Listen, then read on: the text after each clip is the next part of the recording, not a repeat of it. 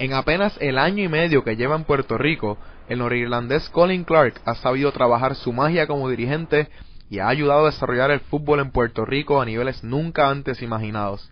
El dirigente de los Islanders y de la selección nacional se sentó con primera hora a conversar sobre su nueva vida en la Isla del Encanto. What do you know about the country itself? Uh, I knew it was part of the United States. I knew it was in the Caribbean. Uh, that's pretty much it. You know, I, I didn't know what it was like, or I didn't realize the size of it, uh, the population. Mm-hmm. You know, a lot of the, a lot of things that I found out that were pretty surprising. Okay. How have you gotten used to life in Puerto Rico? Uh, I love it. You know, it's it's easy to get used to. It's a it's a great place to live. Uh, people are very friendly. Mm-hmm. Drivers are fun to to be involved with. makes makes driving to work every every day a fun fun proposition. Have they cursed at you in the road? Uh, sure. Do you curse them back? I'm more Puerto Rican now than ever. you know, you just got to be, you know, expecting the unexpected when you're in the car.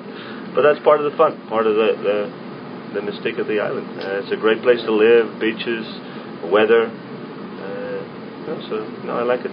Settled in. Do you have your family here? Yeah, a wife and uh, son. He's just turned seven. Okay. Have you learned some Spanish? Yeah, some of the bad words I won't repeat.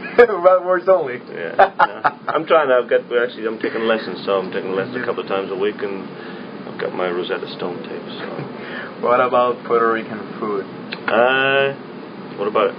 Do you like it? Yeah, What's good. your favorite? Uh, mofongo. I like mofongo. I've had that. Uh, you know, they, they deep fry a lot of things here. there's not, nothing. There's nothing wrong with deep fried food. So uh, no, I like it. No, food's, food's Has good. your wife learned to, to cook some? Uh, well, she's Italian, so uh, oh, she's Italian. Okay. It's Italian descent, so she's she's always cooking. So okay. and some good mixtures. Have you gone to try some bacalaitos in piñones or something like that? I don't know. I've had everything. I think I've tried pretty much everything.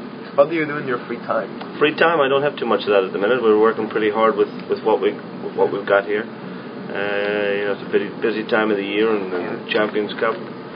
If I have free time, yeah, the beach, uh, I like to play golf.